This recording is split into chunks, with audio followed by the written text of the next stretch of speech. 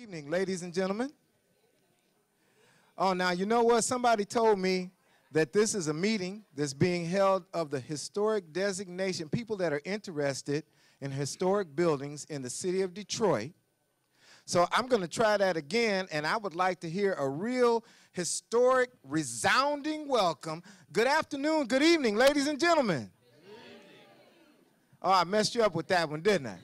I took you back too far in history and said, okay, the afternoon was back then. Let's come to the evening. Let's try it one more time. Good evening, ladies and gentlemen. Good evening. Now, there you go. Now, I know you were expecting to see your Detroit City Council President, Brenda Jones, and I apologize for that. I am her Chief of Staff, Stephen Grady. She was not able to attend the meeting, but she did want me to come to give you a few words to let you know why we're here tonight. Now, the purpose of this event is to learn about how to designate a historic district for those who may have a historic building, how to make specific repairs to that, the building permit process, and then also some affordable solutions to property rehab. Now, I read that to mean how can I get some help to restore my building since there are certain standards that I must meet since I have a historic building. And I know there are some of you here in the audience who may not necessarily own a historic building, but you have one in your community. Or you may just be a person that uh, reminisces on the history of Detroit and sees certain buildings that you would like to see preserved. So, for whatever reason you're out here tonight, I want to thank you so much for coming. We appreciate your attendance, and we're going to try to do everything that we can do to answer your question. Now, this is what I'm going to tell you, what the council president always says. At a certain point, we're going to open up the floor for any questions that you might have. Now, note, I did say questions, not comments, right? Questions. Now, if you have a question in your mind, and you say, oh, I better not ask that. You know what you just did? You just committed the first cardinal rule of a council president, Brenda Jones town hall, is that if you have a question, please ask it. Because the only question that's a bad question is what? The one that's not asked. So you might have a question that my answer, someone on this side of the room may have a question that answers a concern that someone on this side of the room has. So we're going to have a dialogue, and we've got a panel of experts here. And I want to thank Eric Kehoe of the Preservation Detroit organization. Yeah, you can give Eric a round of applause. I don't know, Eric, that was a little weak. I think you're going to have to let them know, you know, what you do and, and how you can help folks that have the interest in, in the historical uh, buildings of Detroit. All right. But it's a, it's a partnership, folks. Of, why are you laughing?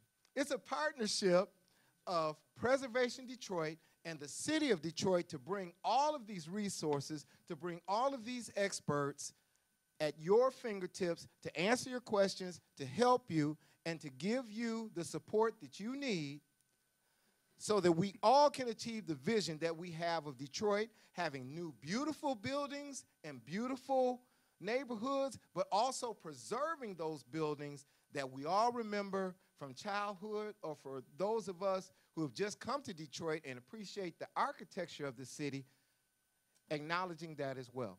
So with that, I'm going to turn it over to Eric, and we're going to give Eric another round of applause. let's let's let him know that we like him being here. There we go. Thank you so much. All yeah, right. that's All what right. I'm talking about Thank you so much. for sure. So, uh, show of hands, how many folks here live in a Detroit historic district? All right.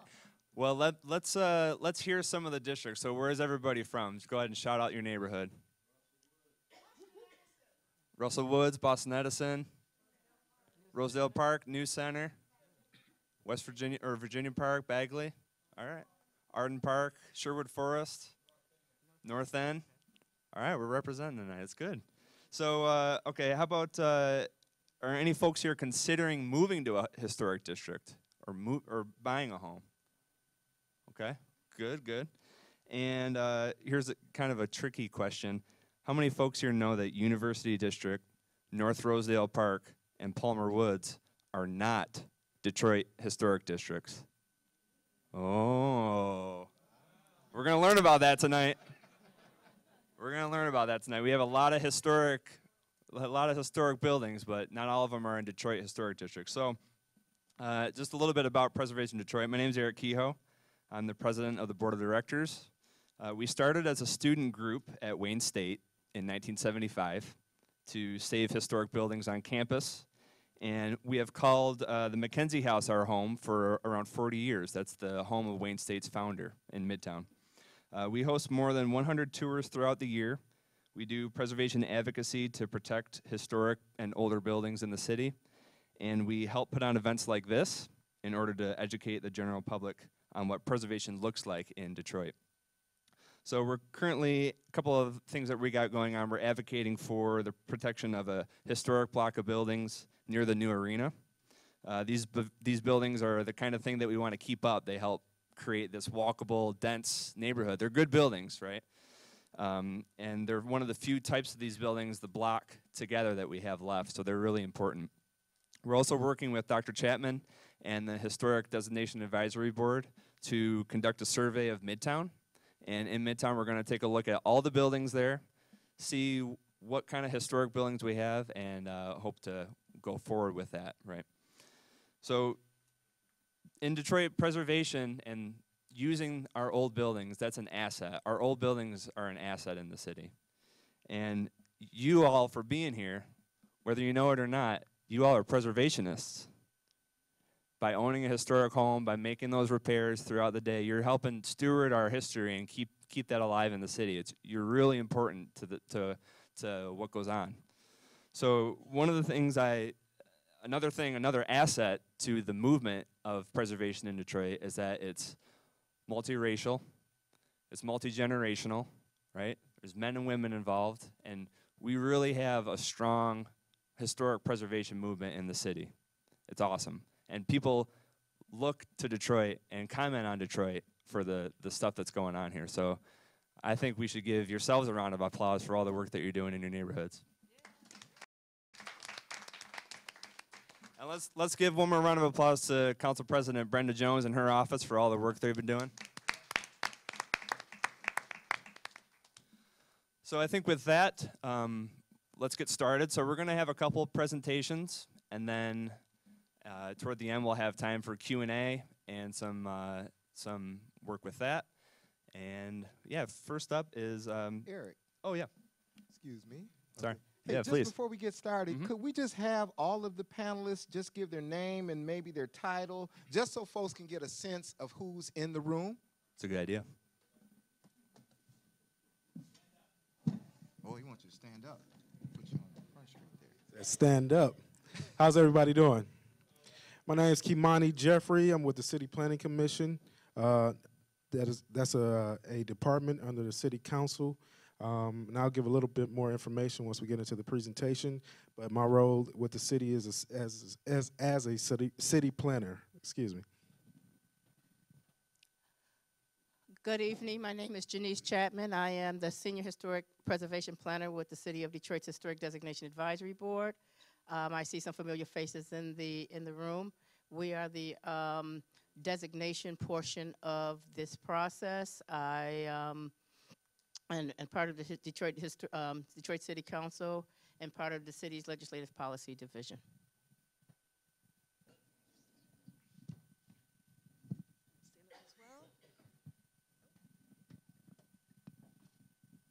Hi.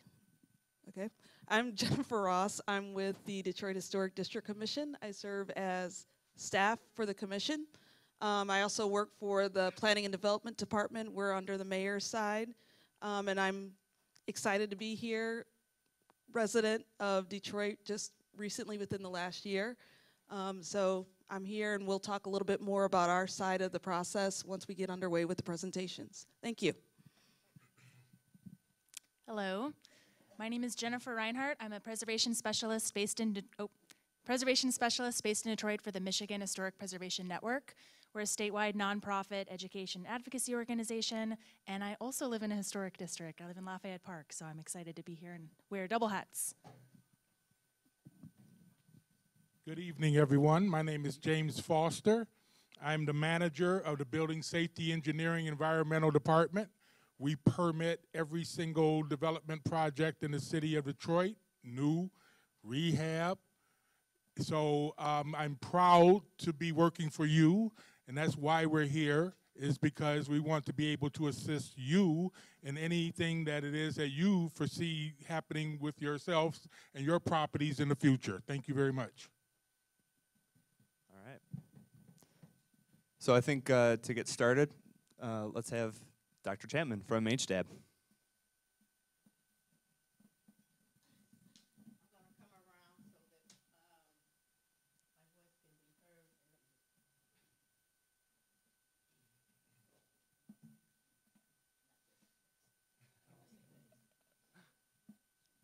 Oh, and just as just as um, Dr. Chapman is getting started, just to let you know that this event is being tape recorded and will be rebroadcast on Channel 10.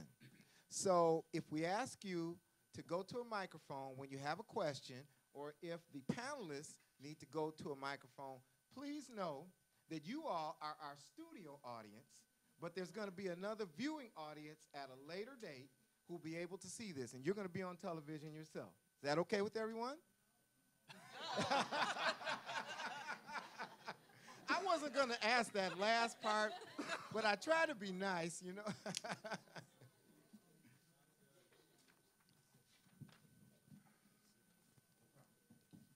Can everyone, can everyone hear me? Can everyone hear me? I am holding right in my mouth. Okay, great. Okay, um, again, my name is Janice Chapman, and I'm with the City's Historic Designation Advisory Board. And we are the arm that does the designation.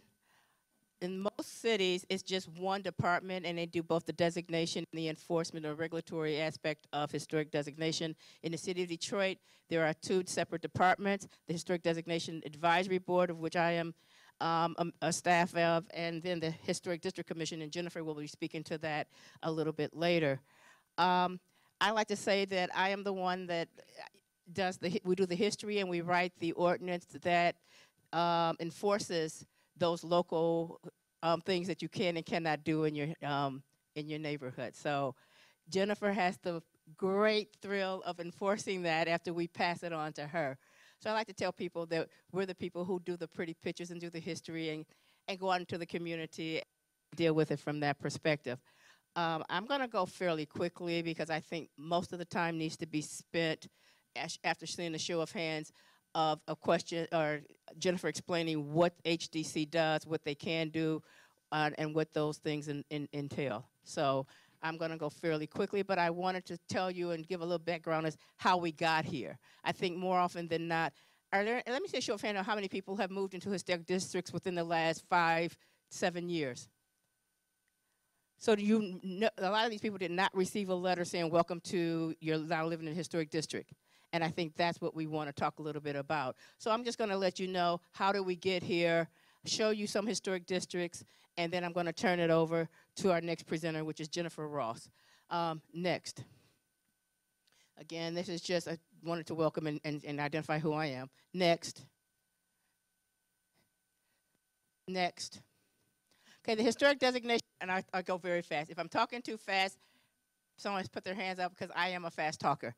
Um, the Historic Designation Advisory Board, our ordinance is under Chapter 25, Article 2 of the 1984 Detroit City Code Ordinance, which established historic districts here in the city of Detroit. Uh, what is interesting, as I pointed out, is that the Historic Designation Advisory Board staff prepares historic designation study reports, the ordinance, and the Historic District Commission, under the executive branch, enforces historic districts regulatory. So we're with the legislative body, and they're with the mayor um, and the executive body. Next. Our mission statement is to advise city councils on matters relating to historic preservation, and in particular, proposals for designation of local historic districts. Our staff is able to provide citizens with assistance in all kinds of areas and questions pertaining to um, issues of preservation, as well as kind of pointing the direction source and to communities pertaining to historic um, matters. What's interesting, and I like to point out, is that our office, when we when we talk about our mission statement, it has gotten right. We're the ones who come out and do a lot of the commercial, uh, excuse me, community uh, meetings prior to the designation. If someone or someone, anyone can request local designation, and I want to make that very clear. Anyone who's a citizen of the city of Detroit can request local designation. You don't have to live in that neighborhood. You don't have to um, live in the if there's a building in downtown Detroit, if there's a church, if there is a synagogue, it doesn't matter. If there's a park, anyone can um, request local designation. Everything in the city of Detroit is considered a district, so it can be a single building or it's multi buildings. So things referred to in the city of Detroit as a district. So if you hear that, don't think that it has to be more than one building or one than, more than one resource. Next.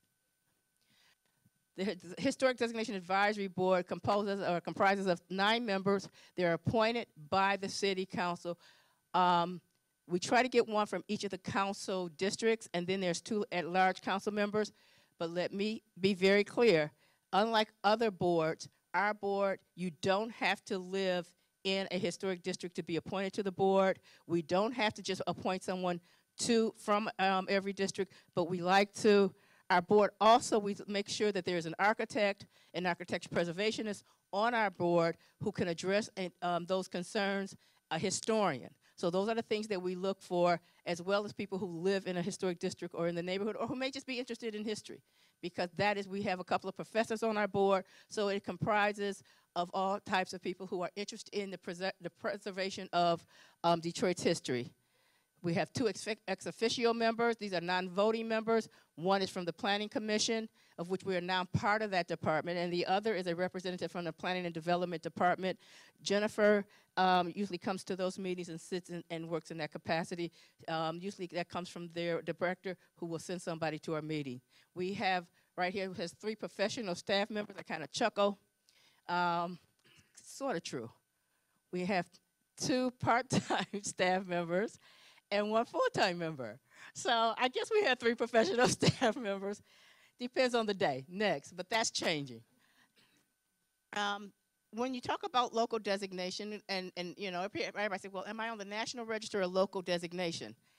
I think um, Grady spoke, eh, Mr. Mr. Jones spoke to, uh, Grady spoke to that earlier when he said, how many people, or was that, um, oh, excuse me, that was Eric who asked that question. How many, you know, how many people didn't realize that Palmer Woods is not a locally designated district? It is on the National Register of Historic Places. It is not locally designated. So you can be locally designated and not be on the and not be on the National Register, or you can be on the National Register and not be locally designated.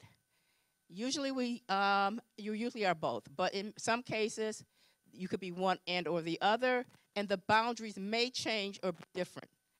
National Register districts basically deal only with the thumbprints of those districts, so it is the building or the parcel in which they sit on or that lot lines. Our designation takes you to the center lines of streets and alleys.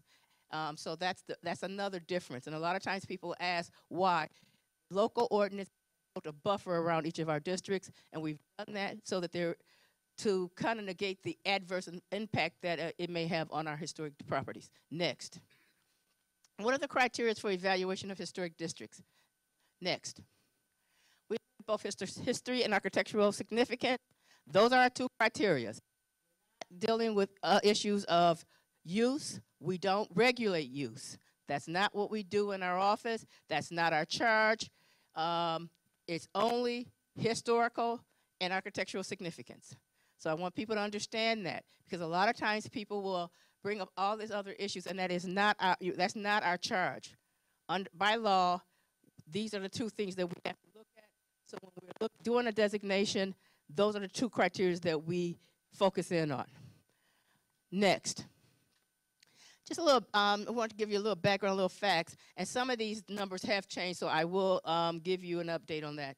It says here that Detroit has 140 designated historic districts. That has in, um, now we have 161. We have four, excuse me, five historic, historic districts that are pending, so they're under study at this present time. So that number will increase probably by, the, by July or by the end of summer. Um, I keep losing our, I know. Um, uh, within there, we have both um, our largest district, which is Rosedale Park, and I know we have representatives here from Rosedale Park. Can I show show of hands again? I recognize some faces there. So yeah, they're our lar- and um, our small uh, Russell Woods is our next largest. Boston Edison used to be the largest historic district, but they have been surpassed by two others. And the remaining districts have, um, we said we have over 2,200, probably at this point closer to 3,000 uh, 3,000 homes that are designated. Detroit largest um, commercial district is the financial district in downtown Detroit. Um, 36 buildings. We have Capitol Park, um, and thing keeps moving, but we'll keep going. Uh, and um, as well as the Lower Woodward Corridor, which has 34 commercial buildings. Use this new center, and I know I saw a show of somebody of hands of someone who spoke about living in the Virginia Park New Center area. So that district is is part of our mixed use district. And these are areas that are located next to are located in what is town historically have been known as the Cass or the corridor. Um, Detroit Lodges apartments are Palmer Park, not too far from here, the Palmer Park Apartments. They are on the local and national register, and it's um, great apartment buildings. I lived in three apartment buildings in that area, in that in that neighborhood. As I was making my way through school and working summers, rents used to be really cheap. I don't know if that's the case anymore. Struggling student. Um, so, and then we have over 20. It has 23 religious structures. That has increased now to close to 30. Next. And I like to thank you. I like to show this. Um, that's better. These ne- ooh, these next two slides, and to, again to say why is it important? And when you look at this particular slide, you see a wedding. Why is it important? Now you see the no vision, but that's okay. It makes my point even more. Um, but you saw people standing, basically in uh, you know their uh, wedding party, standing there and you know and, and basically you see the church in the small corner there so i always say to people will your children ask you where you got married what will you say over there by the unleaded because that's a gas station so we demolished that beautiful building that beautiful structure to make way for a gas station and so you took your pictures yes you know this, this couple may have but that memory is gone because there is no sense of place next and I like to like to say, come again or tell them again. You tell them one time, but my mother always taught me you got to tell them twice. So, what is this? This is a, and you got kids dancing with their little school picture. They're all excited and happy to be there. There's the historic school sitting there, and we know about historic schools being vacant and abandoned here in the city of Detroit, correct? Many of them are in our neighborhoods. We're working on that. We're working closely again with um, Jennifer and in her office to identify and try to protect as many of those as possible. But no one's going to look back finally on the time when they spent their time in a parking garage. You know, your class picture, you bring your kids and say, Let me show you where I went to school. And it used to be right there by that parking garage. That's why we do this. Next.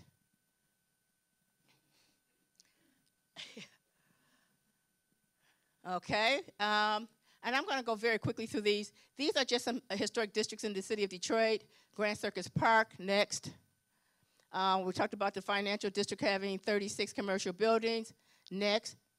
Boston Edison, as I pointed out, we did have someone here from Boston Edison, a couple of people, um, both on the National Register uh, and, the, and the Federal Register of Historic Places. Next. Palmer Park Apartments, just beautiful apartment buildings. They still, you know, with some love, and I always say it just takes a little love. You can see that this neighborhood is still pretty intact. Next. Okay. And we'll keep going. West Canfield, I don't know if people are familiar with the West Canfield Historic District. It's one of our early ones over there by um, traffic jams or TJs, as we used to call it back in the day. Um, next. This is um, West Village. Um, um, keep going, just run them through. Indian Village, the Woodbridge neighborhood, Sherwood Forest. We lost Sherwood Forest. I wanted to kind of stop there at Sherwood Forest. Sherwood Forest, because it is very close to this to, to their meeting spot, and Sherwood Forest is an example of a community that when they uh, came to us for a local designation, it was a, you just meeting the, the, the community folks and coming out to the community meetings, you just knew that they, you know, they knew this was a special place and it was important for them to protect that. Next.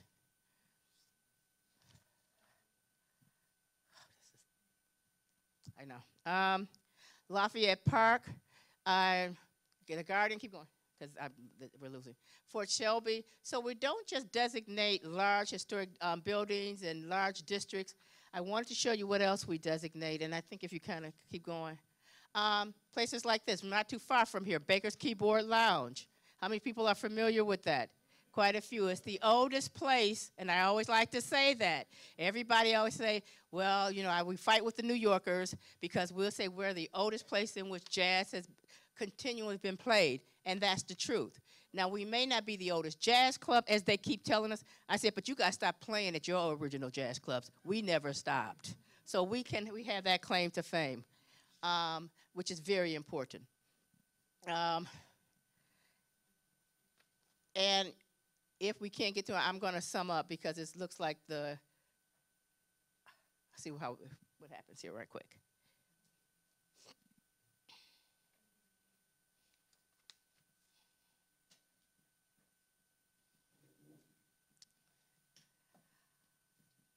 Well, basically, because I'm going to go ahead and, and, and, and, move forward because I think that, as I pointed out, I, I think that um, I'm going to turn this over to Jennifer very quickly. But basically, what I wanted to say is that we don't always just designate houses and buildings and properties that look like this. We also designate ordinary houses, such as the United Sound Systems recording studio, which we mm. just lost mm. um, on visually, which is basically two, as, as you can see here, this is basically just two, um, two houses, or one house in particular, that was uh, purchased and started a music studio.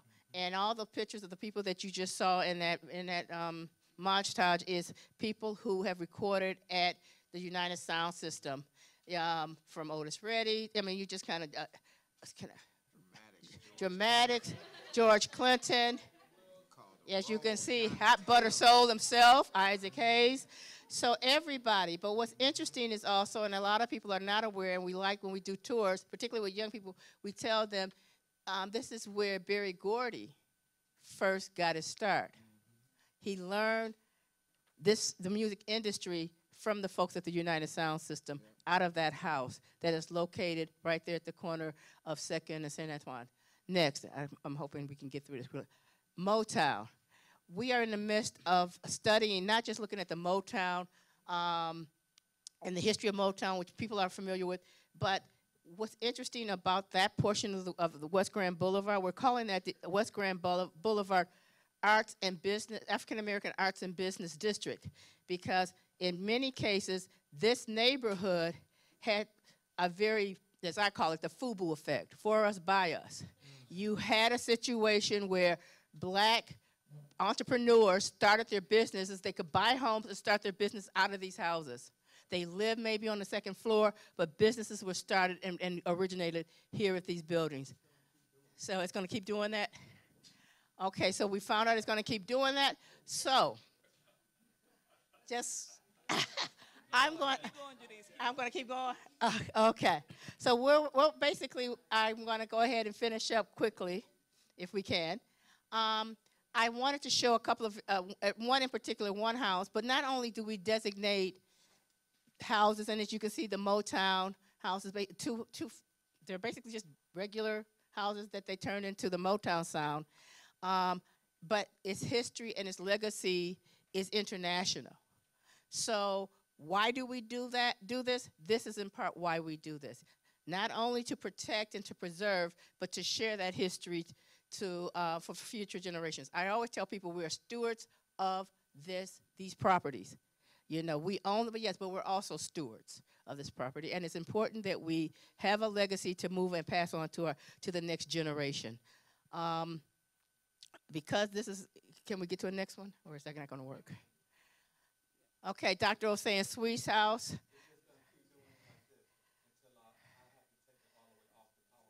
Okay, why don't we take it off of the PowerPoint? Jennifer, if you want to go ahead and then get started. Or, to, or go to, James. we're going to go with James. And we're going to stop here. I am here. If there's any additional questions, um, we, during Q and A, please feel free to um, to raise your hand. I will be walking around as we get to that portion of our of today's, uh, or excuse me, this evening event. So I'm going to turn the mic over to Mr. Foster and let him. You have to use this mic, Mr. Foster. Yeah, that's what I was told. Uh, you have to stand up, sir. Come around. No, no, sir. yes. You're welcome. Mr. Foster. Good evening. I don't have a PowerPoint, so we'll be able to get through this uh, fairly quickly. So, um, obviously, you don't need um, a building permit for most renovations and rehabs.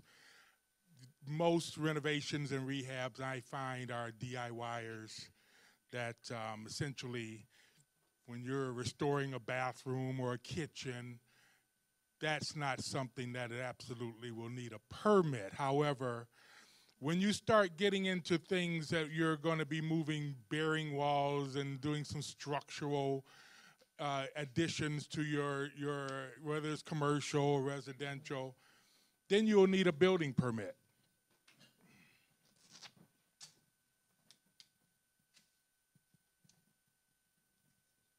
You will be using the 2015 rehabilitation code. That's very important. If your structure was built prior to 1974, this is what you will be using, either you or your professional architect or a contractor. If, in most cases, if you're going to be doing at least 50% of new construction or renovation to a existing home or commercial building that was constructed prior to 74, you're going to be using that code. Anything else, you're going to be using the most recent Michigan Building Code. We find that a lot of uh, new homes want to redo their entire plumbing systems, want to do their entire electrical systems, yes, you will need to use the Michigan Building Code if you're going to be doing the entire system. If you're simply going to be patching, replacing certain things, then of course you will still stick with the renovation code. Understand, a lot of these things are difficult to interpret I have a complete staff of architects, engineers, zoning inspectors, building inspectors that work for you that I'm proud to supervise. We are here to answer any of your questions. So before, if I don't see any of you again ever, I want you to remember that if you have any questions, and this is new, I've just set these uh, emails and phone numbers up. I want you to email me at drc at detroitmi.gov. That's drc at detroitmi.gov. That is our Development Resource Center. So uh, remember that. Any any questions you may have, any ideas, any dreams that you may have, if it has anything to do with renovating or restoring a property, if it has anything to do with any new development, if you're if some of you are ambitious and want to become developers. Um, uh, let me also say that we have a phone number, 224 2 DRC. 224 2 DRC. That's 372 for DRC. So please, I, I can't, I, you know, I can't express how important it is to me to hear and to address any of your concerns. All I've learned over the years that we've been doing this is I get takeaways from every one of our meetings as far as what it what the community wants, what they want to see, what they want to hear from the city of Detroit. That's why we've we're in the midst of creating some very user-friendly, illustrated checklists to get you through the process. But in the meantime, so bear with us. In the meantime, please use that email and that phone number to communicate with me. So in, when you use the, the Michigan Building Code, I want you to focus on Chapter 3, which has three main methods of compliance. There are, you will be one of the three. And then I want you to focus on chapter 14, which is essentially applicability. And again, I don't want you to have to figure it out. Uh, if you get to a point, if you decide that you do not want to get to a point of using a professional, which I highly recommend because in the end, it will cost, it will save you monies. And it all depends on how far you're going to be going. And like I started this by saying, most of you are going to be DIYers, and we're there to answer those questions for you. We've worked with some local groups who have created some very simple answers to those questions that you might have. So we're prepared for for your your questions. Um, and you know, we're we it was just you know Janese showed you a lot of historic buildings in the city of Detroit, schools, manufacturing, churches. I've been finding, and I'm very glad that this is happening, that we're adaptively reusing a lot of these structures these days. I mean, you know, uh, on on Townsend Street on the east side, where there's going to be uh, 25 condos built. Uh, our seller, Mitchell Taylor Banks, is reestablishing a, a manufacturing uh, facility on Mount Elliott. The um, it, it, several other schools are being converted. Elementary schools are being converted into industrial or innovative training centers in the communities. So we're seeing a lot of that. We're seeing a lot of things happening with our vacant buildings. We're doing the best to not demolish them. The thing is that we would like to reestablish them, put them back in use, because we're trying to bring this community back together, and we're targeting areas that we can we think we can do that. We uh, have some smart people that know a lot more than I do, and what I do is simply permit these uh, these new developments. So again, my name is James Foster. Please, if you have any questions, any concerns, anything that crosses your mind, please send me an email or send me or give me a call. Thank you very much. Thank you. Thank you, James. I'm not sure who I'm introducing next, Eric. Oh, Yeah. Jennifer Reinhardt. Yeah. Well, the books are you. The books. Yes, the the book. I think the question was, how do you get those books? And those books are available at the uh, Construction Association of Michigan.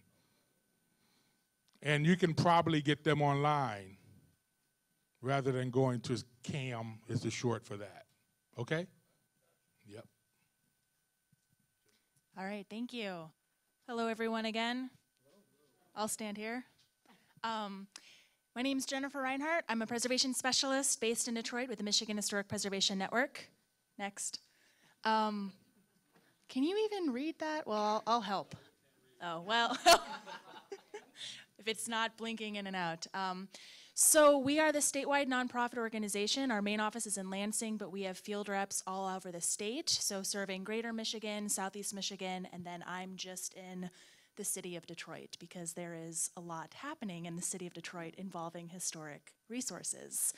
And um, our major mission, you know, we educate, we advocate for historic places, and that can take a lot of different forms. A lot of times it's helping people like yourselves who either want more information if you are engaging in DIY projects of you know methods or information, making sure that it's um, ap- you know following the Secretary of Interior standards and is um, you know appropriate for being in a historic district.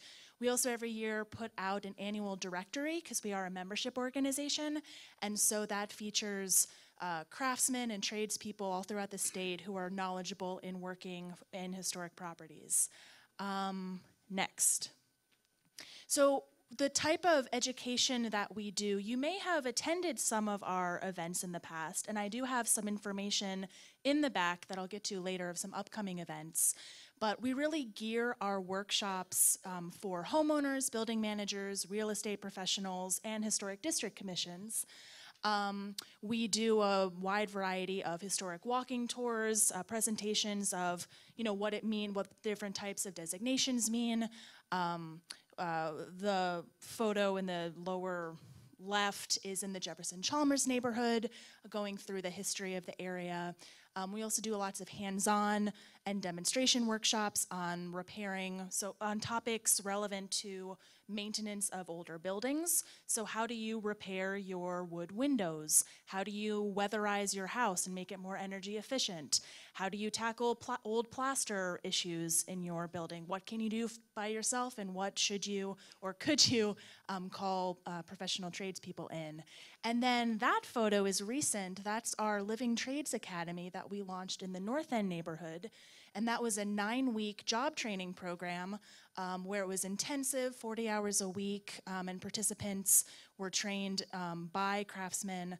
Um, on a lot of different topics, and um, I'm, I'm happy to say that um, a lot got jobs upon completion last Friday. So we, but that's a big um, big part of our mission is there is a huge opportunity in Detroit to build up a local workforce and have, you know, create a job pipeline to do some of the rehab construction work, either in historic districts and a lot of the adaptive reuse buildings that um, are currently um, going on. Next.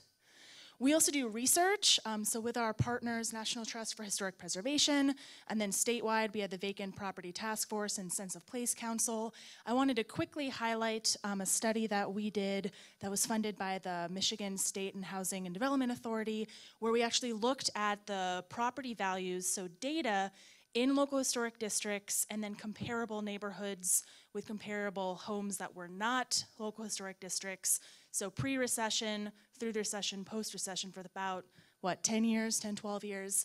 And our study showed that um, property values either stayed the same or increased in local historic districts. So that, you know, for all of you who have properties in, that's good to know. Um, next. Okay, another big part we do is advocacy. So, Preservation Detroit is really the lead local advocacy partner, but we support a lot of their efforts. And then, through a lot of our conversations with neighborhood groups and with community members, when issues arise and we get phone calls, we do act upon that information. So, I included a photo. Who's familiar with Vaughn's Bookstore? We are over here in the west side. Yeah. So, Dexter. Mm-hmm. Um, but it's a very significant building, um, first African American bookstore in the city.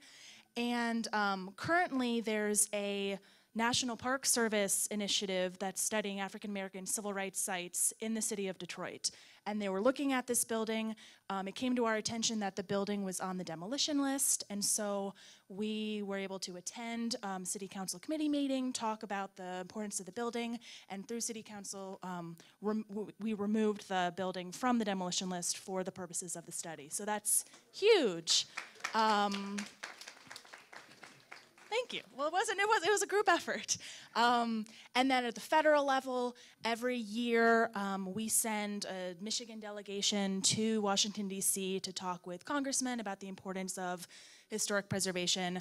That became particularly relevant this previous year, it's all blending together, but with a lot of the tax cuts that were proposed and the federal historic tax credit was on the chopping block. And so we organized a postcard writing campaign with Preservation Detroit and some other local organizations, and um, you know, ended up where we um, the federal tax. Well, one of them, the 20% was retained. Um, the 10% was eliminated, but we're focusing on the positive. And speaking of tax credits, if we could go to the next one, one of the big current advocacy issues at the statewide level is reinstating the state historic tax credit for anyone, or it sounds like a lot of people in the room have been um, residents in historic districts for a while, so you may know that in 2011 we lost our state historic tax credit. It's one of the few, if not only, tools for homeowners in, you know, owner-occupied homes, these residential. Oh no, we were doing so well. Um, but it's for it offers a 25% tax credit towards your total state income tax liability for rehabilitation expenses um, which makes a difference and it's so we have a bipartisan statewide coalition it's called my impact and we are currently um, We've moved, so the bills have been introduced in Lansing, they've passed the Senate, they're in the House Tax Policy Committee. We just got informed that next Wednesday, it's going before a vote for, before the committee in the House. Um, so we are hopeful that it will pass and then pass the House and then go to the governor. So it would really help if you could contact your statewide representatives and just say how, what this would mean, um, that you are in favor of reinstating the credit, and just emphasize that for Detroit, um, this would go a huge way towards helping maintain and uh, preserve our uh, quality historic building stock. And I did also want to mention that um, th- should this, if and when this passes, um, it will be eligible only for contributing buildings in local historic districts. So if you are in Palmer Woods, if you're in North Rosedale Park, if you are in, you know, a non-local historic district, you will not be able to, to take advantage of this tax credit. Um, so more information can be found on our website. I'll have that information on the next slide or one of the next slides. Um, but I also wanted to mention we do have some upcoming events coming up that you are all invited to. I have flyers in the back. One is a series of practical preservation workshops. They will be taking place on the east side.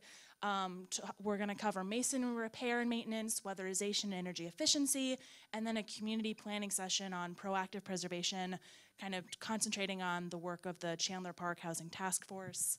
And then the other one is how to research the history of your home, um, going through some of the research uh, resources available. And then in August, we have, or we're planning for a vacant not blighted home tour that kind of spotlights the community histories of vacant buildings and also includes a home repair resource workshop to help address some of the financing and acquisition challenges um, in the city. So with that, and our website is www.mhpn.org. Um, oh, yes, slower. www.mhpn.org. It's also on the, um, the information in the back. And I'll be here and we'll have a Q&A session. So, thank you.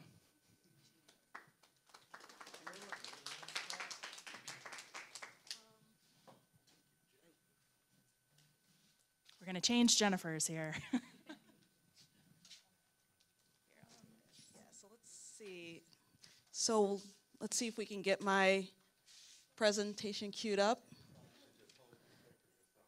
Yeah, yeah, maybe I can. Yeah, let me do that. Okay. So, hi everybody. Um, once again, my name is Jennifer Ross, and I am staff with the Detroit Historic District Commission.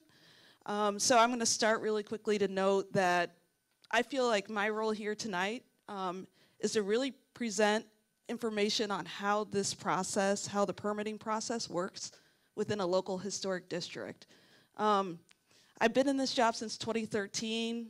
I've heard stories, numerous stories, um, issues, and really, you know, we hear a lot about the fact that folks find this process to be very opaque, uh, very opaque, um, kind of hard to understand, hard to go through. Um, so, unlike my previous co- colleagues or my colleagues with their previous presentation, I won't have a whole lot of really pretty pictures. Um, it's going to be a lot of text, but I feel like really I want to be here to provide as much information in the little tiny time frame that I have to educate folks, and then of course we'll talk more once we go through the question answer portion. Um, so if anybody has any issues with hearing me, because I tend to do a lot of that, um, let me know. Just shout, give me a shout out. So just really quickly, what are the benefits of being in a histor- in a local historic district? Um, so of course, having the designation, um, having those rules, um, although oftentimes they seem tough, um, and we get a lot of questions. Why do I have to follow these rules? And it's like, well, just note the same rules that we're holding you to, we're holding your neighbors to. So having that designation protects the character, protects the appearance of your neighborhood. So also noting with over 11,000 designated properties, historic districts are a special interest group. You have a voice. The more people that get together in these types of meetings, the more people that get together that attend stab meetings, attend Preservation Detroit and Michigan Historic Preservation Network um, events, the more you get your, your voice out there, our elected officials know that, that your districts are important to you. Also, um, being in a district requires contractors to pull permits. I tell everybody all the time, this helps protect the homeowner. Um, if you follow our process, um, the building department ensures that the work is inspected and is done according to the code, is done according to um, standards which the building department enforces through their inspection unit. Um, and really, you, you never want to get in a position where you have a contractor and your contractor is asking you as a homeowner to pull that permit because guess what happens? If the work is done incorrectly, the building department comes out to inspect, it's on the homeowner. Um, so I'm always, I'm very, very vocal about make sure that you have a contractor who is licensed and who pulls permits. Um, also noting that staff is available to assist with the permitting process. Um, so currently we have two staff people at the Historic District Commission. It's myself and my colleague Audra Dye. And I'm happy to announce that we have one position that's posted. So we're gonna, we're looking at getting a third person. Um, and that's all driven by the fact that there's so much activity, so much work going on within our local districts. The mayor heard that, we're getting a third person, and we're all really excited about that so we can provide better service to our residents in our districts. And finally, um, just touching upon what Jennifer Reinhardt uh, just talked about, which is that potential for that state historic preservation tax credit. So 25%.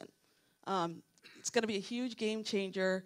I want to be able to tell people when I'm saying you must do this, I want to be able to tell them, and if you do, you will get a 25% tax credit on the um, value of that work that you're doing. Um, so just a couple of, of additional benefits that are really outside of our ordinance that the commission doesn't really have or doesn't have purview over, but being in a historic district provides to residents. Um, so number one, uh, staff could work with the building department and the Department of Neighborhoods to assist in issues that we hear crop up from time to time. Um, for instance, property uh, maintenance blight issues. Um, oftentimes when folks see issues of property maintenance in their neighborhood and they're not even sure who to call, who to call in the, in the building department, they'll contact us. We work really closely with James and our colleagues in the building department to be able to plug in the right person uh, with that issue so that those issues can be addressed. Um, we also have the ability to recommend a zoning clearance check. And what that is, is it's part of the due diligence. If you are about to buy a home in a historic district or buy a home in general within the city of Detroit, contact the building department, see if there are any existing violations on that home so that you know before you get into or while you're getting into the negotiation period, you could say, wait a minute, I know that these existing violations are standing. Those will need to get dressed, addressed upon my purchase and occupation of this building. Um, let's talk about the price. and just general code enforcement issues. Um, so we get a lot of phone calls about use. Um, as Ms. Chapman noted, um, the Historic District Commission ordinance has no purview over use. We don't address use. However, we get a lot of phone calls from folks in our districts talking about illegal uses like Airbnbs, um, residence homes. And once again, we're here as staff to connect um, our residents to the correct person to talk to in the building department to start addressing some of those issues. Um, so this is just a little kind of bar graph to once again highlight what Ms. Reinhardt touched upon once again, one of the benefits of living in a historic district, this was a this was based on research that was done last year. So this is actually Detroit specific, and it's really touching upon the fact that within um, local historic districts, and as Dr. Chapman noted, um, so you, you see the bar for local historic district, the average value of homes being 39,000. Within National Register historic districts, the average value of homes almost being 50,000. And as Dr. Chapman noted, a lot of our National Register districts also happen to be locally designated districts, so there's that crossover. But then outside of districts, um, both National Register and local, you see that property value dropped to 19,000. So we're seeing through the work that um, preservation, I'm sorry, Michigan Historic Preservation Network has done, that living properties within historic districts, people tend to take better care of them because of our rules. People tend to migrate into those neighborhoods when they move to Detroit because they tend to be the, the most beautiful neighborhoods with the best architecture and the most well-kept properties. And so this, the value really reflects those characters. So getting into the process. Um, so just a general rule of thumb, I tell everybody, um, no exterior work can begin in a local historic district with designated district without a permit. Um, so the permit triggers or the permit requires HDC sign off. So while while you're going down to the building department, let's say you don't know you're in a local historic district. If you're working with a reputable contractor, they will go to the building department to pull the, the permit, and at that time, the building department, if they're not aware that they're in a district, will signal to them, you're in a district, you need to start the process with historic. The permit won't be issued until the work is approved by the Historic District Commission, either at a staff level or at the commission level. You'll take that letter of approval and then go downstairs to the building department and pull your permit. Um, and so just noting again, sign off is provided by the commission or staff depending upon the nature of the work. And so we'll get into to that. Um, so what is the definition of exterior work? Once again, it's any work within the boundaries of a local historic district to include the existing building envelope. If you're painting, if you're doing signage, if you're doing landscaping, you want to take down a tree. If you're doing a new sidewalk, driveway, light poles, etc. So any any exterior work proposal within the boundaries of the district must be reviewed at some level. Um, noting once again, or not once again, but noting that all four sides of the building, um, and the so the front, the backyards, the front, back, side elevations, they're all reviewed and weighted equally. Um, oftentimes we get a question, you know, well, if we if we do the work faithfully in the front or the sides, can we kind of put in some vinyl windows in the rear? No, I mean, no. It's kind of like that scope creep, the vinyl creep of once it happens in the back and then it slowly creeps around to the front. So we look at each four side as equally important. And we also look at new construction within district boundaries. We review that, um, and that's primarily to ensure that the quality and the type of the architecture that's being built really stands up to the quality of the homes and the buildings within the local historic districts. Um, so we have a few items, a number of items, and if, if you guys, if y'all have had the opportunity to pick up my little informational brochure, it lists those items that can be undertaken within a district without even HDC review. And so those are items that we term or we look at as, as minor like maintenance, yearly maintenance. Um, so that includes painting the same colors at the same location, and I won't go through all of them. But if you can kind of see kind of the repetition in the text, and it's a few. So if it's repairing a few shingles, um, or replacing a few panes of glass with matching glass, um, tuck pointing small areas, then that's stuff that you guys can do without even, like I said, coming to the commission, coming to staff. You could just go ahead and do that. And then, so just once again, emphasizing that all exterior items must be reviewed and approved by the commission at some level before it's undertaken.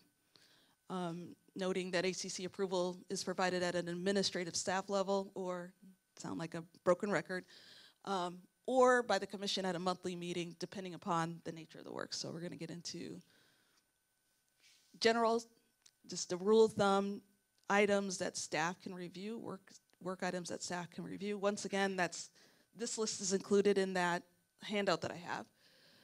Um, but it's gutter, downspouts, and really, I'd get into the rule of thumb. So I don't think we need to get into each individual item. But just a general rule of thumb is any repair or in-kind replacement um, that's done within the HDC guidelines that matches the historic design and quality and doesn't result in the removal of historic, historically significant elements can be approved, reviewed, and approved by, at a staff level. So the flip side of that rule of thumb is the reason why you're going to the commission is because you're asking for something that generally is not matching the, the character of the thing that you want to replace.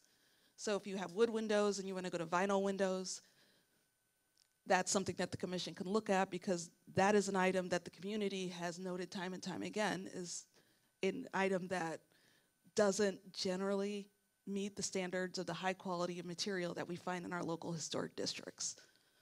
Um, so just saying once again that like the rule of thumb, any exterior work that result that will result in a change of materials, the removal of historic elements or new additions to districts go to the commission. Um, and so this is the very last part, and I'll run through this really quickly, but this is the actual, getting into the actual process. So typically, it's an application to the building department that's brought to staff. Staff reviews it, um, reviews the scope of the work, and we determine whether or not it's a scope that meets um, the commission standards for a staff review. So if it's a staff review, we issue the certificate of, of appropriateness. Then you would take that letter of approval along with your scope of work to the building department and pull your permit. Um, however, if staff looks at the scope of work and determines that it's meeting that cr- criteria for work that the commission has to review, um, we would take that, we would actually work with the homeowner, work with the property owner to talk about what the commission is gonna require in order to put together an application for them to review. Um, we schedule a time for, um, the applicant at one of our monthly meetings for the commission hearing. So at that wonderful day, when you come in front of the commission, um, the commission hears your presentation. Um, the homeowner or the property owner is, is able to come to the meeting to speak on their case. If the commission approves it, um, a certificate of appropriateness is issued by staff on behalf of the commission. And then, of course, you take that letter with your permit application to the building department and pull the permit. However, if if the commission denies, there is a um, process um, through which you could appeal the commission's denial, and that's through the State Historic Preservation Office. Or there's always a process of working with staff to see how you can modify your proposal so that you can get it to a point that the commission can review and approve it. So just a few parting tips. Um, so the commission's review starts with the submittal of a complete application to staff. And this tip really comes from the fact that I and my colleague Audra, we do a lot of front-end work um, to ensure that the applicant has the right amount of information for us to actually start the review process. Oftentimes, I know that can be a lot, a lot of, that can kind of add to a lot of frustration because it is a lot of us kind of having to interact with the property owner versus the property owner being able to um, be empowered to pull their application together. Um, we are working on a process by which we could, oh, sorry, provide more information on our website. Uh-oh. So, oh, here we go. Thank you. All right, good. Um, so yeah, we're working on a process so that we can provide better like guidance and information to homeowners on our website so that we can empower the homeowners to really understand the process and make it a little less opaque so that there's less frustration on the front end. But really, we, our review doesn't officially start until we receive, well, I don't know what happened here. Oh. Until we receive that complete application. Um, also noting that staff, that the website and staff are available to answer questions regarding the submittal requirements so that we can get you to that point to where it's complete and we can start the official review. And the sooner an application is submitted, a complete application, the quicker staff can pull the project around. Um, also noting finally that we receive walk-in applications Tuesdays and Thursdays between nine and four. Um, and staff and administrative approvals can be issued that day if the application is complete. And finally, applications can also be submitted to staff via email. And then staff can actually review those applications and then send you your letter of approval over email. So you don't have to come in and pay for parking and go through the headache of, of having to come downtown. Um, so I've got my colleague James Foster here once again from the building department, and I thought we would quickly touch on final, like kind of wrap this up with violations. Um, um, so violations are defined as exterior work in historic districts that are completed without approval. Yeah, we all know. I, I think we all in this audience are, are familiar with the many violations that happen within our historic district.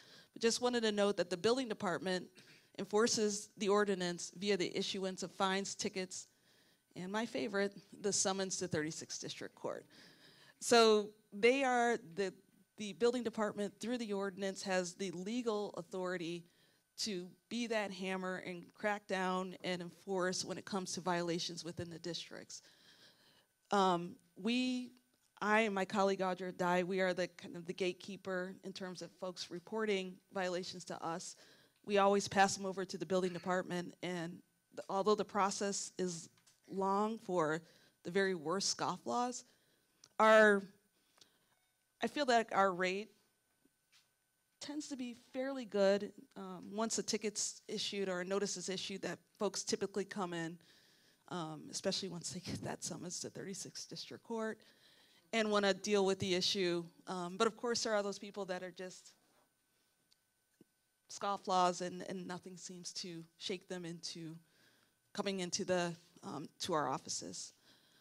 Um, further permits, another tool that we have available is um, the ability to not issue any permits on a property until a violation is corrected.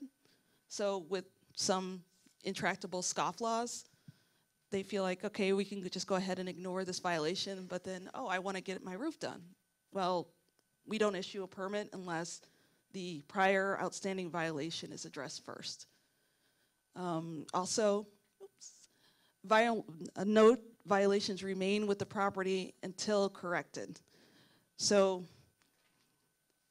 although a homeowner or a property owner may leave, that, that violation stays with the address, it doesn't stay with the person.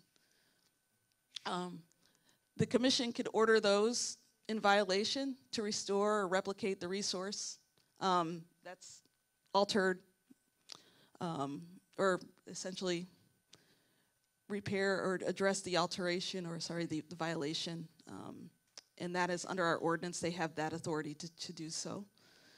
And then finally um, the commission can attach a violation order to a property's deed. But in my mind um, the purpose or the desired outcome of enforcement is repair replacement of the building's historic character. So ideally we're not in this business to make money to drag people to court in my mind, the ultimate goal of enforcement is to bring that building back to the historic character so that at the end of the day, the neighboring houses aren't brought down by work that's not in character uh, with uh, in character with the neighborhood. When in doubt, contact HDC staff before you begin your project. Um, so you have my information. I'm Jennifer Ross once again. My number is 313-224-8907. And my email address is rossj at detroitmi.gov. And my colleague Audra Dye, her number is 313-224-6543. And her email address is dye, A, so it's D-Y-E-A, at detroitmi.gov. Thank you. Great, thanks, Mr. Jennifer Hernandez Ross.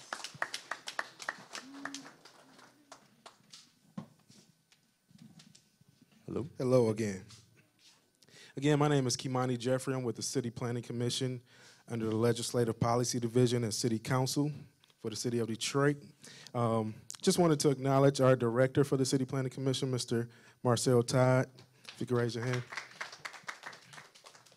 And we thank uh, uh, Mr. Kehoe and also Council President for letting us have this opportunity here. Um, real quick, I'm not going to be very long, but I just wanted to share some information about who this the uh, City Planning Commission is. The City Planning Commission is a nine-member board um, that's advisory to the City Council on issues regarding land use and land use policy. Um, they are a, uh state-appointed board that get derives their statutory powers from the Michigan Zoning Enabling Act. So they are state appointed, um, but they are advisory to the city council, like I said, on all issues um, regarding land use policy in the city of Detroit. Um, one thing that I wanted to point out is that CPC, that's an acronym for the City Planning Commission, is uh, the steward of the zoning ordinance. So anything zoning ordinance related, we are the, the authors of that, um, and we typically go through a robust process where we, um, you know, we come out to the community, uh, we talk to stakeholders in crafting that zoning, those zoning regulations. Many times people um, sort of either misinterpret or may not understand the difference between our office, which is the CPC, and the Planning and Development Department. So just to give some clarity, the Planning and Development Department is a department that's under the mayor, and they report to the mayor, and they are essentially the stewards of the city's master plan. We again are the stewards of the city's zoning ordinance. And so in master planning, the just uh, so, sort of like the efforts that are going on citywide with the planning efforts, the planning and development department leads those. Um, and the master plan informs it's the broader um, vision or des- designations around the city of what the vision is for the city 50 years out, 20, 30, 50 years out. And zoning regulations are the specific, um, the specific regs that uh, basically supplement what that master plan calls for. So that's just a brief um, overview of the difference between our office and the Planning and Development Department. Um, another thing that I wanted to point out, many times some of the issues that we see, um, you know, when people come to our office is that many times, I don't think it, it may not apply to people within this room because many of you are here on behalf of residential properties. But many times, um, for commercial properties and things of that nature, we get people that come to our office that may have bought a property, may have been informed by maybe a real estate agent, and that information is not always correct. Sometimes people may not have done any research at all, but it's very essential that you find out the zoning of your property before you go and make a business plan or, or make plans for that property. Because the zoning is basically what allows or, or tells you what's allowable for the property that you have. So before you go, uh, I've seen, we've seen it many, many times where people go and invest large, absorbent amounts of money and come and find out that what they plan to do is actually not allowable. So the way that we we um, when somebody comes to our office, we go and we look at the master plan and we go and look at what the zoning allows for that parcel. And from looking at the combination of those things as well as other factors, we are able to tell you what is allowable for that particular parcel. If people want a rezoning, if, if the, the land that you have, you're requesting to rezone it to allow for something else, we what the first thing that we do is we refer to what the master plan says, the vision that was set forth, and that is one of the key factors and what allows us to know um, what the, you know if that parcel is able to be rezoned. So that applies to any any any parcel in the city of Detroit as well as historic districts. So that's something that um, is essential for everybody in here to know. And then just uh, just wanted to show briefly a project that we're working on right now. Um, it's called the, this is a project, and I just want to show how zoning can intersect with historic districts. So right now, there's an effort in the Brush Park Historic District. Um, and essentially what's happening is there's a new type of zoning um, that's called form-based code or form-based zoning. And this is being rolled out um, and, and studied in the city of Detroit for the first time. It's something that's in many municipalities um, around Michigan and also around the United States and even the world. But just to give you a, a brief overview of what this means, right now Detroit is governed by what we call use-based zoning, meaning you have a use or or land is divided or separated by the type of uses. So you, essentially or generally you will have residential uses, you'll have commercial uses, which you'll see on many corridors, you'll have industrial uses, which are typically separated into certain certain areas. And then you also have other types of uses such as special district um, areas. But essentially, that's what use-based zoning is. Um, in the 1940s, that's when zoning or the first zoning ordinance was adopted in the city of Detroit. And the reason is because um, people found started to realize the health impacts of many of the, the you know, of the way we were living. You know, many times residential was located directly next to industrial uses. That was for ease of use for people to get to work quicker and easier.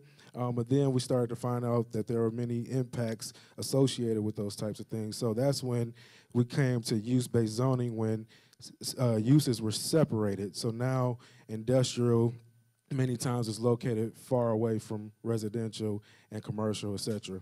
So that's what we typically have in Detroit today. Um, another type of zoning we call is that's called negotiated zoning, which uh, is kind of summed up in our planned development zoning district, meaning this is something that's an innovative use. Um, it may not may not be allowable through any of the zoning districts that currently exist in our zoning ordinance. So what happens is somebody can propose to rezone to a PD or planned development zoning district, and that gives them flexibility in what they can propose. And so they bring a proposal to the city. The city also works with the community, and there's a negotiation to come to an agreement on what will protect the health, welfare, and safety of the community, but also allow something that's innovative that goes beyond what the current zoning districts currently allow. What we're trying to incorporate into the city now is something called form-based zoning or form-based coding. And essentially what that is, is going a step beyond use-based zoning. Uh, right now there's a, uh, a big effort around the nation. Many times you'll hear something called mixed use zoning.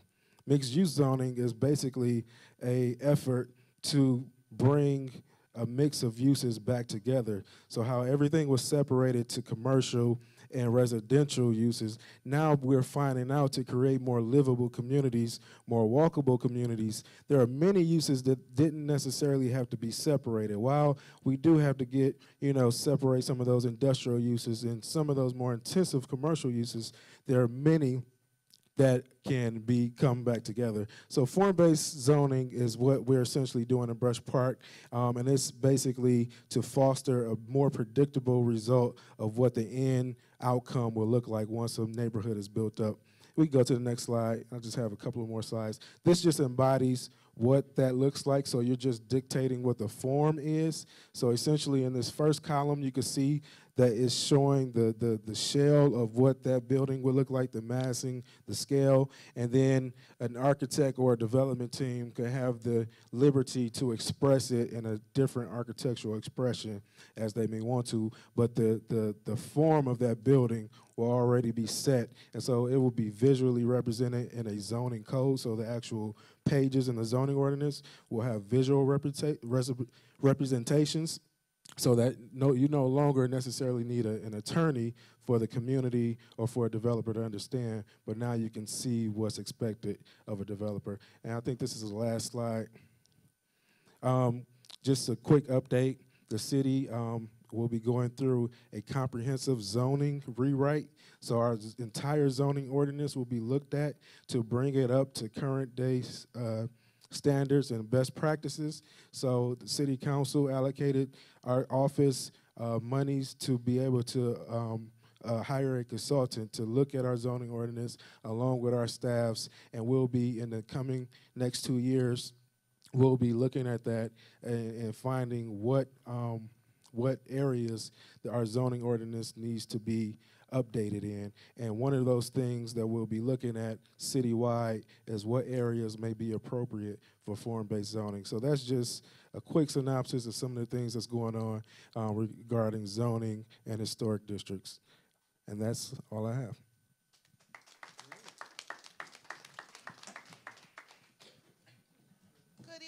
to everyone.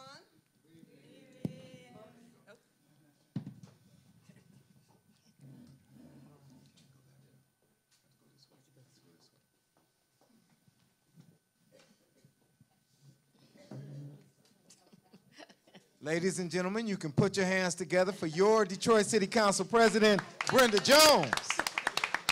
Thank you and good evening to everyone. I, I'm going to be just a quick hot minute. I just wanted to thank you all for being here.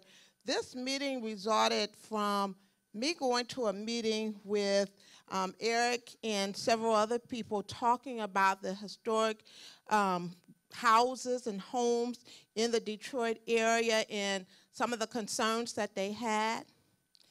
I, for one, can tell you I learned a lot at that meeting. And as a result of that, I thought it would be good to have meetings across the city to talk about some of the concerns and to share the information with everyone. All too often, we assume that everybody knows everything, and that's not a fact. And so it's always good to learn and to share information with each other. So that's how we ended up here. I'm glad we're here. I'm glad you are here. My schedule has been a little crazy today, and I've been running all day, and I'm going to run out and give the mic back to them so that you can continue on with the meeting. But I did want to come and tell you thank you for coming. Thank you for caring about your community, about your neighborhood. And if everybody cared about their community and their neighborhood, what would this city be like? So I thank you all for caring enough to be here on this gorgeous day and for caring.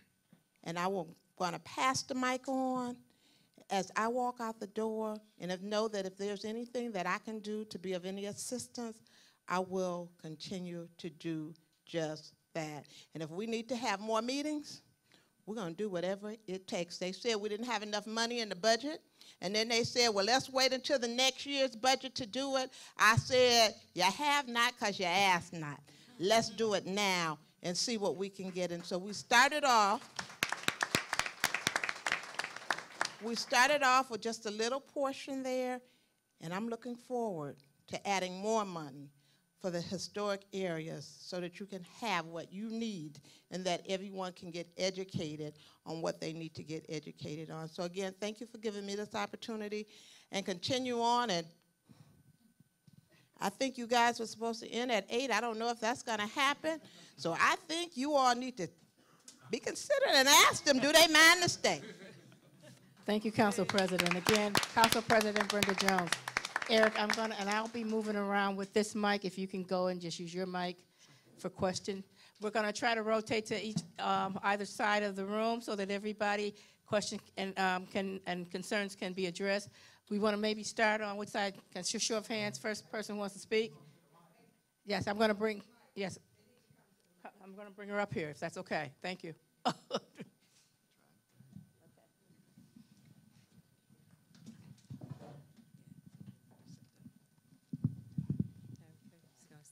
Good evening, I'm Kimley Naylor. I'm a licensed builder, so oftentimes I'm called upon to do some restoration and renovation for properties. And one of the challenges, I'm glad you're having this meeting, first of all, because many of my clients are really challenged trying to get information when we bring the question of when was your home built, and you need to confirm that information. They don't know where to go.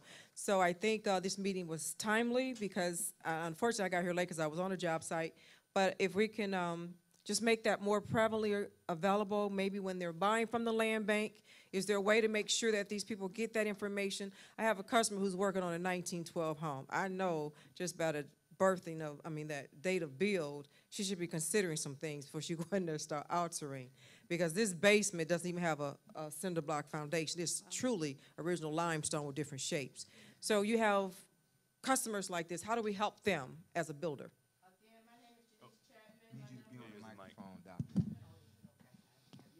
Voice. My name again is Janese Chapman. I'm with the City's Historic Designation Advisory Board. If they have a question about dating a home in a locally designated district, they can reach me. My number is 313-224-3487. Again, Janese Chapman, 313-224-3487. My email address is Chapman, C-H-A-P-M-A-N, J at detroitmi.gov. Thank you. You're welcome. Second question, then I'll sit down. I've uh, inquired about a property, was a former bank, and it sits on uh, Gratiot Avenue. Um, In 2015, they had to wait to find title. They found title, they had the right to market it. Now it went back into oblivion, and then there was this big sign, it's going to be demoed. So I asked, how do I get it off the demo list? I've been trying to buy it for a couple of years. Um, It is a historic property. What is my process? Because I've been trying to buy it for two years, and then they're offering it to me at some uncrazy price. I mean, like, you're gonna tear it down and you want over thirty grand now? Thirty-five grand for something you was gonna tear down yesterday? Okay. Um, Who should I talk to? So the person to talk to, if it's a commercial building, it would be the Detroit Building Authority. If it's a city-owned resource, It is a city-owned property and it's commercial because it's on Gratiot Ave. I would ask if I can get, I'm trying to figure out a way to get um, your contact details so I could reach out to the DBA and connect you to the person to talk to. Um, Ms. Wesley, maybe, uh, Ms. Wesley. Oh, Oh, she's up. Okay. If you can meet up maybe after. Yeah, the- we can meet yeah. up, yeah, and I can grab your details and I can hook you up with who you need to speak with. If there's other questions, you can go ahead and feel free to line up at the, yeah.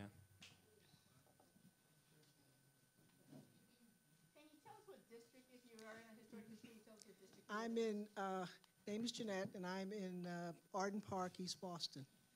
And I had a question, this is a very old question. Many years ago, we attempted to do some solar on the back. And now that they have uh, solar panels that look just like roofing—it looks no different than my roofing, what, what, uh, what guidelines, what do you have?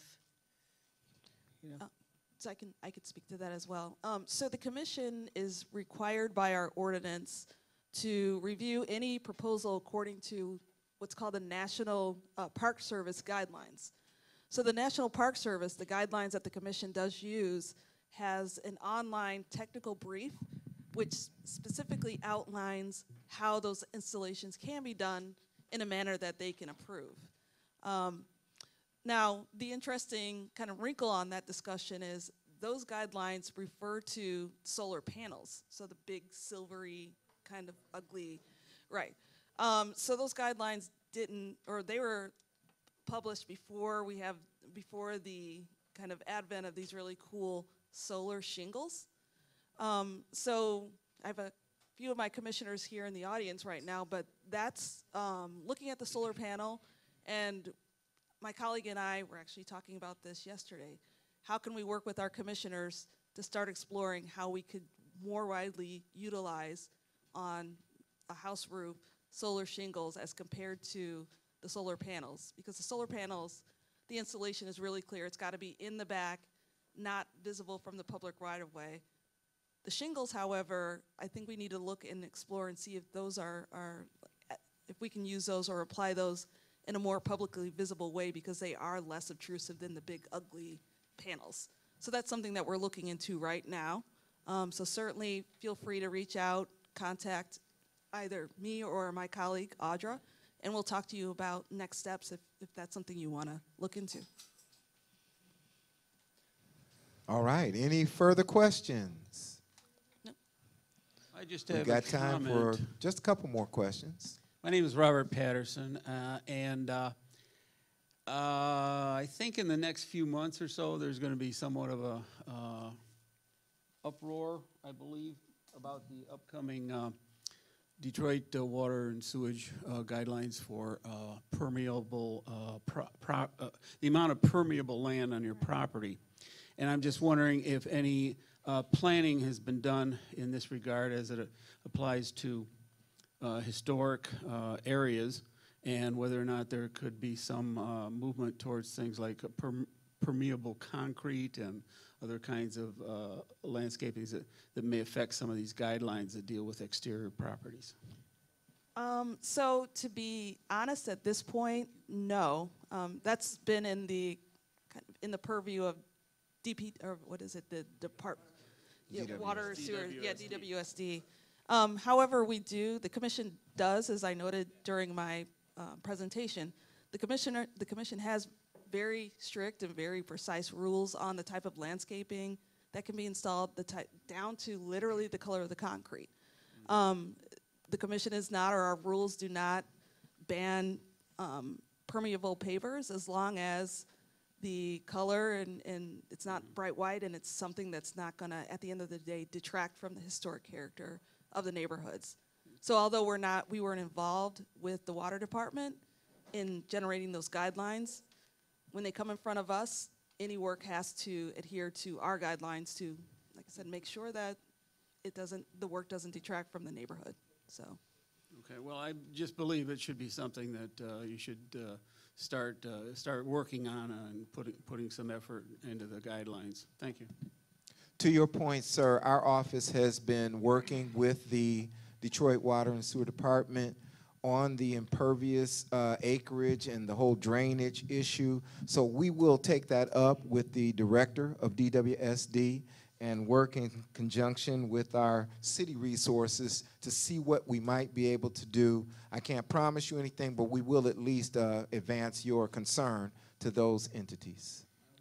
And if Yes. I could simply add, we have, over the last few years, um, this is something, you're very absolutely, you're absolutely right. This is coming before every municipality in the, in the country. And so we have, we're, we're very close to a stormwater ordinance, which will have stormwater guidelines, which will uh, address or uh, allow you to understand for how you can capture credits for your drainage charges and or bioswales or rain gardens or whatever it is you think you might want to propose on your property. As Jennifer stated, it would need to be uh, compliant with the zoning district or the historic district. However, we did take those into consideration, and again, the ordinance will be in effect later this summer and we're currently reviewing the design manuals as we speak. So it is something we're very cognizant of, and you'll have something before us, before you pretty soon, and it'll be on our website. Great. So I think we have we'll have time for two more questions, and then we'll be around afterwards uh, to if you want to talk with any of us individually. So. Thank you. My name is Pam Weinstein. I'm from Rosedale Park, which I think one of the charts listed, Dr. Chapman's charts listed us as the largest uh, single historic district. And I think you also said there are 10,000 designated properties. Is that the number? That, yeah.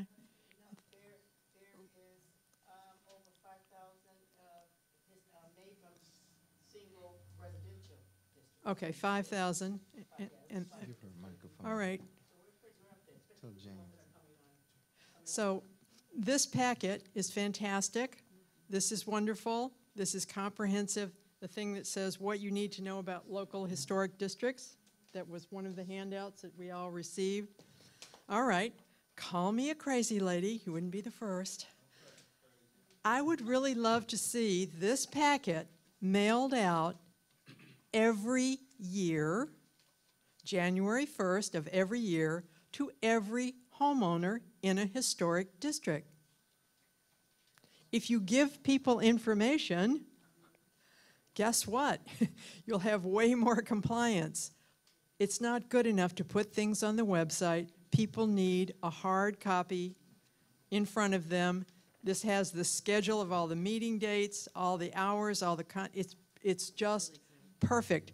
Because that's my biggest challenge, is that as a neighborhood association president, it falls on me to tell my residents about all this, and that's just patently unfair.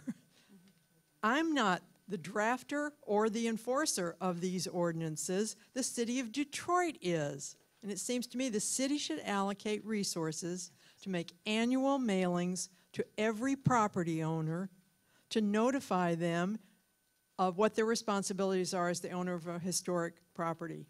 I'll, s- I'll get off my soapbox now. Can I just very briefly, and, I, and you're Thank absolutely ma'am. correct. Um, I think that's in part why these town hall meetings came, up- came about. I think Eric, when I was invited out to North Rosedale for that meeting, that was a concern. We do send out one, you know, when we designate, you get the congratulations, you are now a historic district, and we're turning you over to the HDC. That is not enough, and we've come to realize that as more and more uh, resources and properties are becoming designated as, as locally designated districts. It is about funding. You're talking a mailing that is going, you know, it's, it's going to be fairly costly. So I know that Jennifer from HDC and myself, we are working with our prospective um, directors, Marcel Todd, who is here with um, the Planning Commission, um, HDAB, and Mr. Cox, and um, to uh, to address that. I know that both the commissioners and our advisory board um, are also have also spoke to this. So that is something that we're looking, and hopefully we'll get out. Um, hopefully by the end of the year. I'm not going to make any, you know, say, oh, it's going to happen in three weeks because it, it just won't happen in three weeks.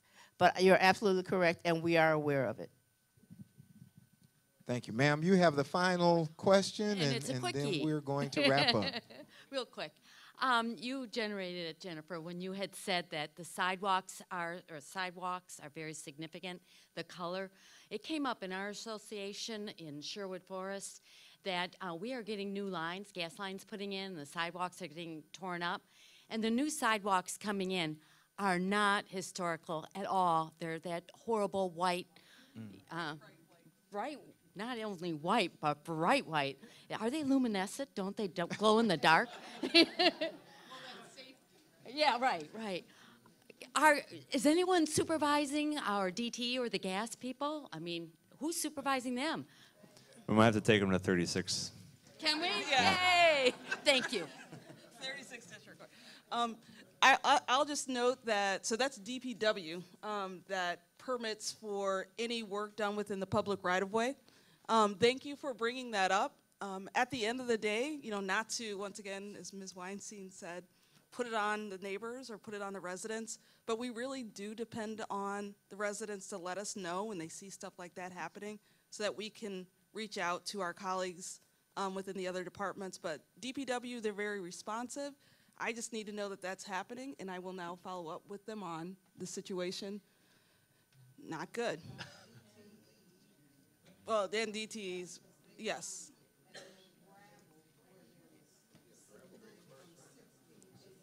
Okay, yeah, and definitely just please, if, if you see any of that happening, if you see the trucks out, let us know and we're able to follow up with the, like I said, with the proper department to stop that. Thank you. You got my number. Thank you, everyone. So we'd like to be respectful of your time. We did say we were going to end at eight, but if you could just give me a couple of moments to run credits. I would like to thank Eric Kehoe, our um, Preservation Detroit Town Hall partner. Sure, you can give him a round of applause. Preservation Detroit, uh, advocacy for historic designation. Dr. Janese Chapman, uh, Historic Designation Advisory Board. She talked to us about the, the structure and the governance of uh, historic designation. Jennifer Ross, the Historic uh, District Committee, Commission. Jennifer talked about permitting, tax credits, uh, how you get approved, do's and don'ts. Uh, Jennifer Reinhardt from the Michigan Historic Preservation Network. Yes. Talked about education, resources, advocacy, assistance. And you're going to have to tell us how we can, for those of us who would like to be involved in your um, hands on training, how can we, training that leads to employment, how can we get involved? Yes. You'll have to tell us about that. Uh, Kimani Jeffrey, my, uh, my colleague on CPC, talked about the zoning process and how important it is and how it impacts historic designation.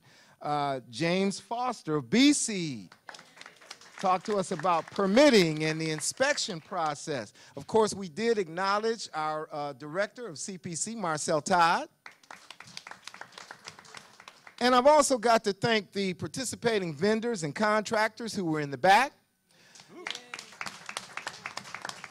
Thanks so much to our media services team who follow us around the city to capture the historic events that are occurring and rebroadcast them on TV. Also want to thank from Council President Brenda Jones' staff, Linda Wesley and Yolanda Lockett. I have to thank the staff of the Northwest Activity Center for giving us this beautiful room to meet in. And then last but not least, I have to thank you, our studio audience, for making this event a very big success. Thank you so much. My name is Stephen Grady. I'm Chief of Staff for your Detroit City Council President, Brenda Jones, and this will complete our meeting.